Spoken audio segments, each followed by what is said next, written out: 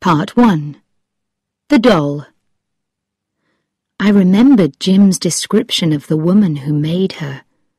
How could a woman like that make a beautiful doll? My name is Stephen Amory, and I am a doctor. I live and work in London, and I have a house by the River Thames. Everything in this story happened because of a doll. It is a strange story, but true. It began on an October day three years ago. I can remember it clearly. The early morning sun was shining on the river when I left my house. I went to buy a copy of the Times, as usual. There was a flower shop on the corner of the road where I lived. I could see the brightly coloured flowers as I reached the corner. I turned into Abbey Lane and continued walking. I was enjoying the warm October sun. After a few minutes, I arrived at the newspaper shop. Suddenly, I remembered that it was a niece's birthday the next week, so I stopped and looked in the shop window. There were games and toys, paper and pens, books and sweets in the window. Most of it has been in that window for years, I thought to myself. I almost decided that there was nothing in the window for my niece. Then I saw a doll. She was half hidden in the corner of the window. She was made of cloth, and she had a painted face. The face was special it had a lovely, gentle look, but sad eyes. Suddenly, I felt sorry for her, sitting in that crowded window. I know that this sounds strange, but I decided to go inside and to look at her more closely. The shop was owned by a man named Jim Carter. Good morning, Dr. Amory, he said brightly when I walked in. Do you want the Times as usual? Yes, please, Jim, I replied. And I need a present for a little girl. It's her birthday next week. Is it? said Jim. Yes, I said. I was looking at that cloth doll in your window. Oh? said Jim. The one that's half hidden in the corner, I said. Jim looked surprised. That doll? he said. She's a little unusual. Can I see her? I said. She's also very expensive, he said. He took the doll from the window and gave her to me, and I nearly dropped her in surprise. She was beautifully made. She seemed almost alive. Her dress and other clothes were handmade, not made by a machine. And her face was hand-painted. I could see it clearly now. She's lovely, I thought. She was made with a lot of love. I could see this love in the doll's face. I put her down gently. How much do you want for her, Jim? I asked. Twelve pounds, Dr. Amory, he answered. He saw the surprise in my face and continued, She's expensive. I did say that, didn't I?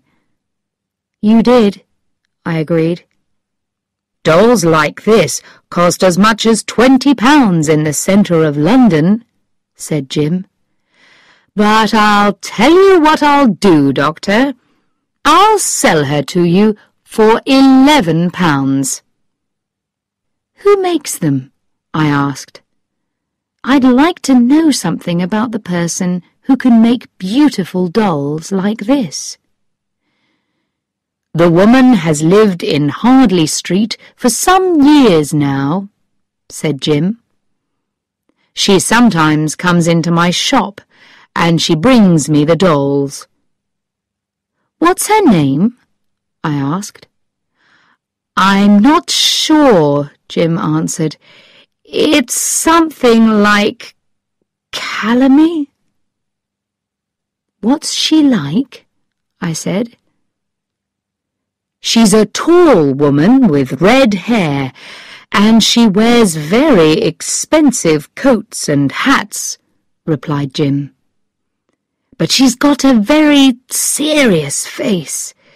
She never says very much when she comes into the shop.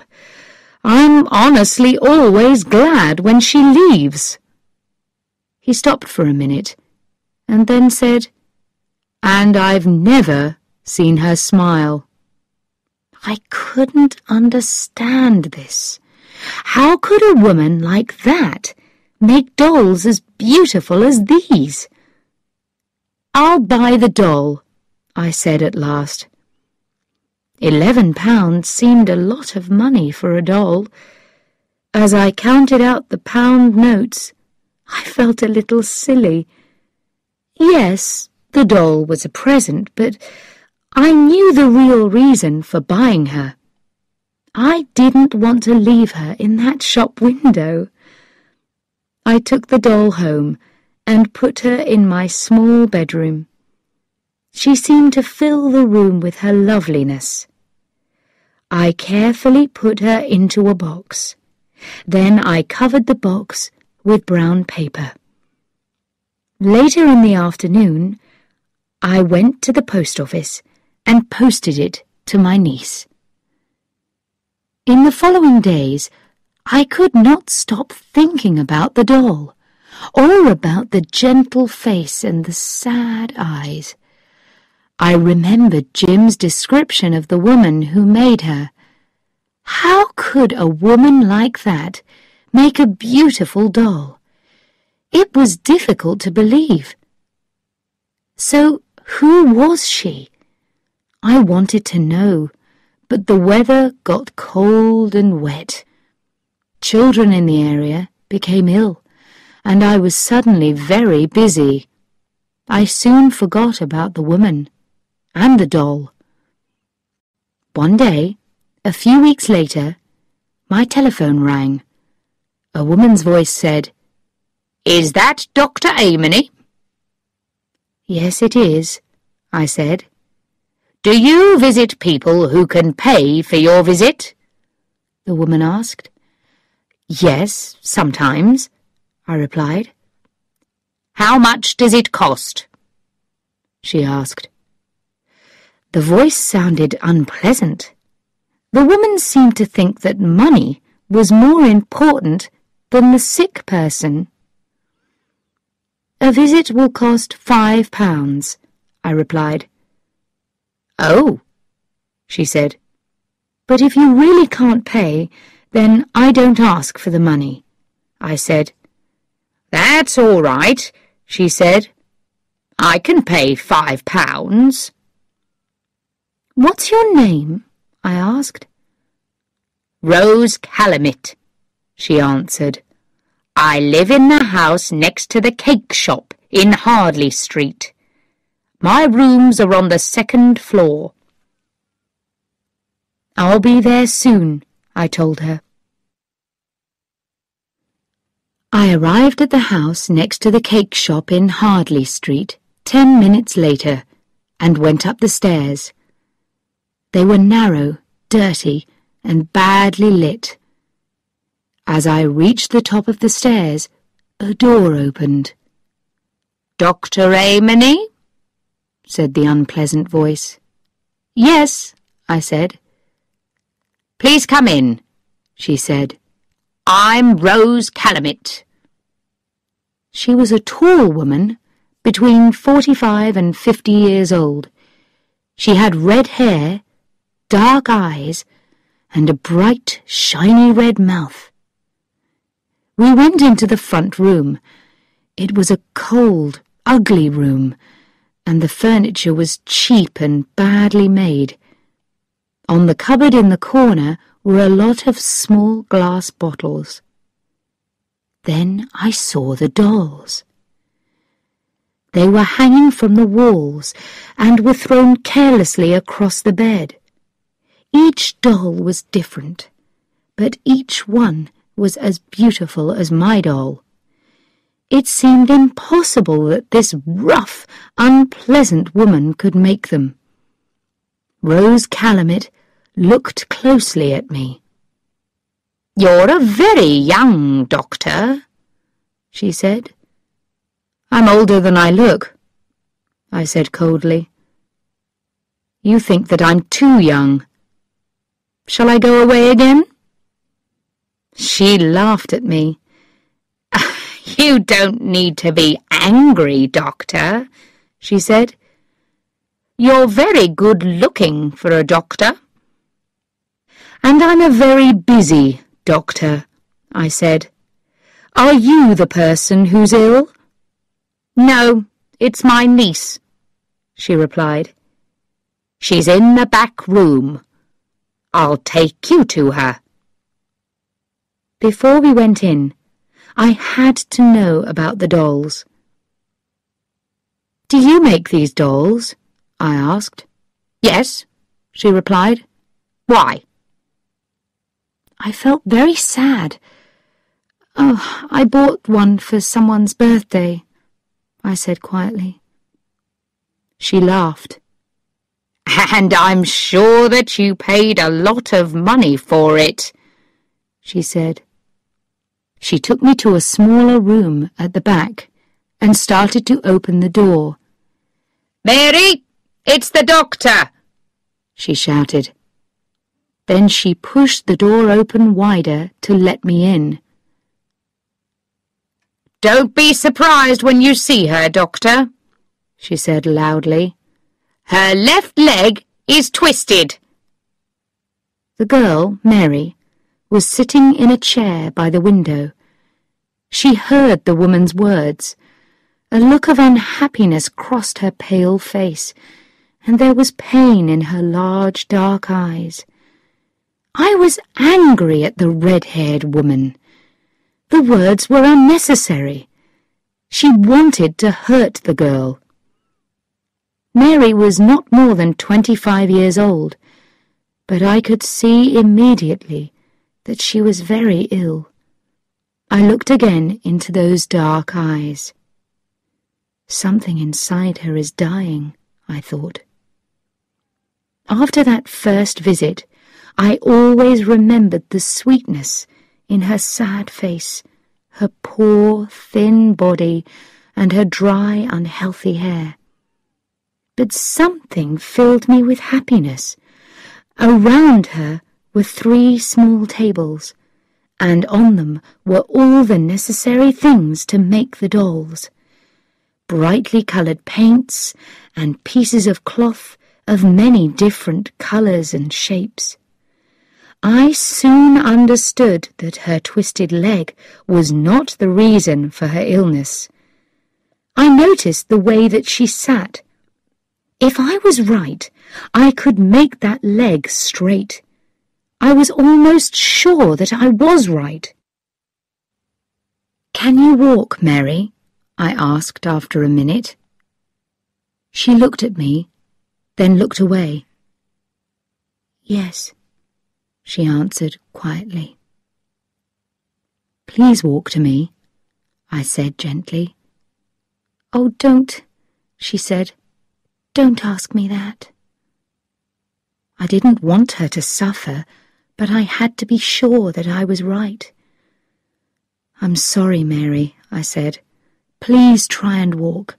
It's important. She got up from her chair very carefully and moved slowly towards me. I looked closely at her left leg. Yes, I was right. That's good, I said. I smiled at her. I wanted to show her that I was pleased. I held out my hands to help her. She looked up. Again I saw the pain and hopelessness in her face. She seemed to be crying out silently to me for help.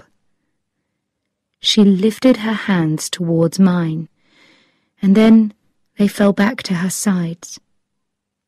How long have you been like this, Mary? I asked. Rose Calamit answered for the girl. Oh, Mary's had that twisted leg for nearly ten years now, she said. But I asked you to come for a different reason. She's ill. I want to know what's wrong with her. Oh, yes, she's ill, I thought. Perhaps she's dying. I knew that immediately. I wanted Rose Calamit to leave the room, but she didn't. She laughed and said, I'm staying here, Dr. Amory. You look at Mary, then you can tell me what the problem is. When I finished my examination of Mary, I went with Rose into the front room. It's possible to make her legs straight, I said. Did you know that? With help, she could walk in... Stop! she shouted loudly. I jumped. That's enough! You must never say anything about that to her. The best doctors cannot help her. No stupid young man is going to give her hope. If you ever do, you won't come here again. I want to know what's wrong with her. She can't eat or sleep, and she isn't really working. Now tell me, what did you learn from your examination of her? I don't know what's wrong with her yet, I replied.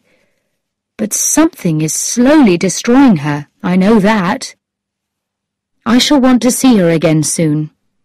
I'm going to give her some medicine. It will make her feel stronger. Then I'll call again in a few days.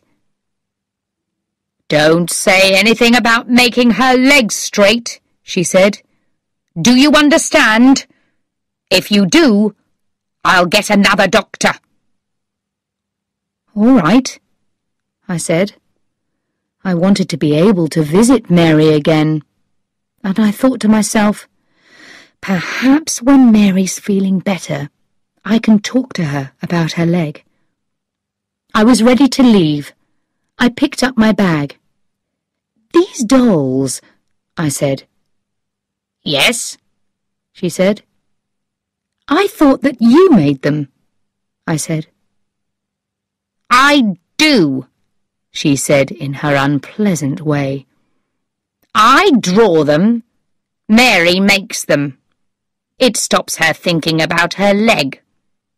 I don't want her to think about the fact that she'll never marry. She'll never have children. I walked out into the bright October sunshine. I knew that Rose Calamit was lying. I now knew the sweet person who made those special dolls. I was happy about this, but I was also worried about Mary. I had to discover what was wrong with her. I had to know before she died. Part 2 The Doll Without Mary and the dolls, the money will end. But what was killing Mary? I still did not know. I discovered more about Mary during my next few visits. Her name was Mary Nolan. When she was fifteen years old, she was in a bad car crash. Her mother and father were killed, and Mary was very badly hurt. The car crash was the reason for her twisted leg. Rose Calamit offered to look after Mary. The law finally agreed because there was no other person to look after the young girl. Rose always thought that Mary's father was a rich man. Then she learned that there was only a small amount of money. After that, she was unkind to Mary. She made her very unhappy. Mary was never able to forget her leg. Her aunt seemed to say, No man will love you. You will never get married and have children. No man wants a wife with a twisted leg. The years passed, and Mary began to believe her aunt. She stayed with her. She did what her aunt wanted her to do. She could see no reason to leave her aunt, so she lived an unhappy life without hope. Then Mary started to make the dolls. Rose Calamit saw how lovely the dolls were. She soon realized that she could sell them for a lot of money. She was right. After she sold a few, she decided Mary must work on them every day of the week, from morning until night. Rose did not love Mary, but the girl produced hundreds of dolls over the years. Rose was happy to take the money for them.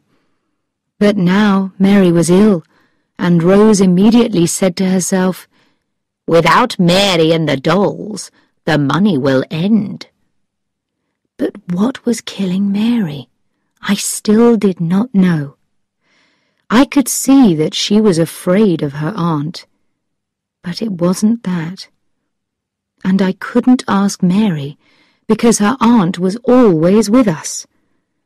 Mary found it difficult to say anything to me with Rose in the room. I did not tell Mary that perhaps I could make her legs straight. It was more important to discover why she didn't want to continue living. I told Mary to stop working on the dolls, and I brought her some books and some chocolates. For ten days, she seemed to get better. During my next visit, she smiled at me for the first time. That's better, I said I was very pleased to see her happy face. You must leave the dolls alone for another ten days. I don't want you to work. I want you to rest, sleep, and read. Then we'll see. But I could see that Rose was unhappy at these words. When I called again, she was waiting for me in her room. You don't need to come any more, Dr. Amory, she said coldly. But Mary must not, I started to say. Mary is much better now, she said quickly. Goodbye, Doctor. My eyes went to the box in the corner of the room. There were three new dolls lying on top of it. Their faces were as lovely as ever, but they had the look of death on them. Suddenly, I was frightened for Mary. I knew that Rose Calamit was lying. I wanted to push this woman out of the way and crash through the door and see Mary. But I was a doctor. When doctors are told to leave, they have to go. I still did not know what Mary's problem was but I guessed that Rose was asking another doctor to call. So sad, call. So sadly, I left. But I couldn't forget Mary. I continued to worry about her in the days that followed. Not long after this, I became ill. It wasn't much at first, but as the days passed, it seemed to get worse. I visited a doctor friend. I can find nothing wrong with your body, he said. Perhaps you work too hard. But I knew that this wasn't the reason. I continued to get worse. I didn't want to eat, and I lost weight. I began to look thin and pale. I felt tired but I didn't sleep well at night. I sometimes dreamed that I saw Mary. She was calling to me for help, while Rose Calamit was holding her in her ugly arms. I thought about Mary all the time. I wasn't able to help her, I thought. She wanted me to help her, and I did nothing. One night, I couldn't sleep at all. I walked up and down my room, thinking about myself and my illness. It seemed that I was suffering from the same illness as Mary. Suddenly, I knew what was wrong. I was in love with Mary Nolan, and because I couldn't look after her, I felt ill and unhappy. I know why Mary's dying, I thought. She's dying because nobody loves her. Nobody in the world is giving her hope for the future. Her mother and father are dead. Her aunt only keeps her because she makes money from Mary's dolls. Mary has no friends, and she feels ugly because of her leg. Her life is empty, except for the dolls. I have to see her. I have to speak to her for a few minutes alone, or she'll be lost to me forever. I thought about this all through the night, and the next morning I telephoned Jim Carter at his shop. This is Dr. Amory, Jim, I said. Will you help me? I'll do what I can for you, Doctor, Jim said. You saved my son's life last year, and I'll never forget that. How can I help you? Thanks, Jim, I said. Do you remember Mrs. Rose Calamit, the doll woman? Yes, of course, said Jim. When she comes into your shop again, I want you to telephone me. Then have a long conversation with her, I said. I need twenty minutes. All right? All right, said Jim. Good, I said. Thanks, Jim. I'll remember this for the rest of my life. I was worried about a telephone call while I was out, so each evening I put my head round the door of his shop, but he just shook his head. There was no news. Then, one day at five o'clock in the afternoon, the telephone rang. It was Jim. He just said, She's here. I ran to the house where Mary lived. When I got there, I ran up the stairs. Luckily, the door was not locked, and I hurried through into Mary's room. She looked so thin now, and very ill. She still had the paints and pieces of cloth around her. I thought, she wants to make one more doll before she dies. She looked up when I came into the room. Her eyes opened wide in surprise when she saw me. She thought that it was Rose. She said my name, but she didn't call me Dr. Amory. She called me Stephen. Mary, I cried, I've come to help you.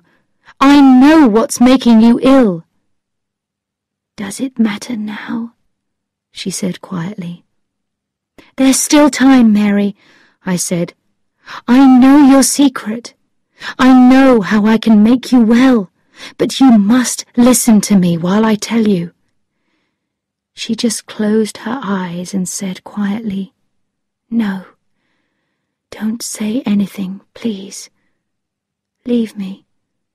I don't want to know. The end is near now. I sat down and held her hand.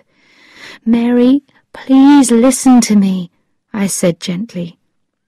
When children are growing up, they receive love from their family. Then, when they're older, they can give that love to other people. They give love and at the same time they receive kindness, happiness, and hope. Then they have more love that they can give. But you've given your love, Mary, and you've received nothing. Now you have no love that you can give. I was not sure that she could still hear me, But I wanted her to live so much. I had to continue. It was your aunt, I said. She took away all your hopes for love and happiness, and later, I continued, she did a worse thing. She took away your children. I looked at Mary. Have I killed her? I thought. The one person who loves her. Then I felt her small hand move in mine and her eyes slowly opened. She seemed almost glad to hear these words. This gave me hope. I talked gently. I tried very hard because I wanted her to understand. Those dolls were your children, Mary, I said. You thought that you couldn't be a mother, so you made those beautiful dolls into each one you put some of your love. You made them gently and carefully, and you loved them like your own children. Then your aunt took each one away, and she gave you nothing. You continued to use all your love. People can die when they have no love left inside them, Mary. I finished speaking, and she moved. She seemed to understand what I was saying. But you won't die, Mary, I cried, because I love you. Do you hear me? I love you, and I can't live without you. Love me, she said quietly. But I have a twisted leg. How can you love me? That doesn't matter to me, Mary. I still love you, I said gently. But Rose lied to you. I can make your legs straight. In a year, you'll walk like every other girl. I saw tears of happiness in her eyes. She smiled and put her arms out to me. I took her up in my arms, and she held me. I put my coat round her to keep her warm. Then I carried her across the room. Suddenly, we heard the front door shut, and the sound of running footsteps. Then Mary's door crashed open as an angry Rose Calamit came into the room. Mary started to shake with fear. She hid her face in my neck. But Rose was too late. She could do nothing now, and she knew it. She did not speak a word when I walked past her. I held Mary close to me. I went out of her front door, down the stairs, and into the street. Outside the sun shone, and the sky was blue. Children played happily and noisily in the street as I carried Mary home. That was three years ago. As I write this, Mary is playing with our son. Our second child will arrive in a few weeks. Mary doesn't make the dolls now. She doesn't need to make them. But I silently thank the day when I first fell in love with the beautiful doll in Jim Carter's shop window.